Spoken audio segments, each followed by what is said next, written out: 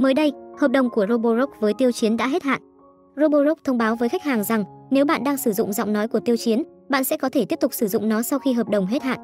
Nhưng sau ngày 20 tháng 4, nếu bạn đang sử dụng giọng nói khác, bạn sẽ không thể quay lại sử dụng giọng nói của Tiêu Chiến. Điều này có nghĩa là dù hợp đồng của nhãn hàng với Tiêu Chiến đã hết hạn, nhưng những khách hàng đang sử dụng giọng nói của Tiêu Chiến được cài đặt sẵn cho sản phẩm vẫn có thể tiếp tục sử dụng giọng nói đó. Tuy nhiên nếu sau ngày 20 tháng 4, khách hàng đang sử dụng giọng nói khác mà muốn cài đặt sang giọng nói của Tiêu Chiến thì sẽ không thể thực hiện được vì hợp đồng giữa hai bên đã hết hạn.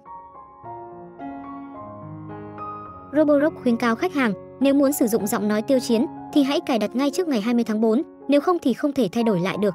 Sự hợp tác vui vẻ đã kết thúc như thường lệ. Tiêu Chiến sẽ tiếp nhận những chứng thực mới. Thông báo cuối tháng 4 sẽ là về cà phê Saturnbird, thông báo về kem đánh răng Saki sẽ đến trong tháng 5.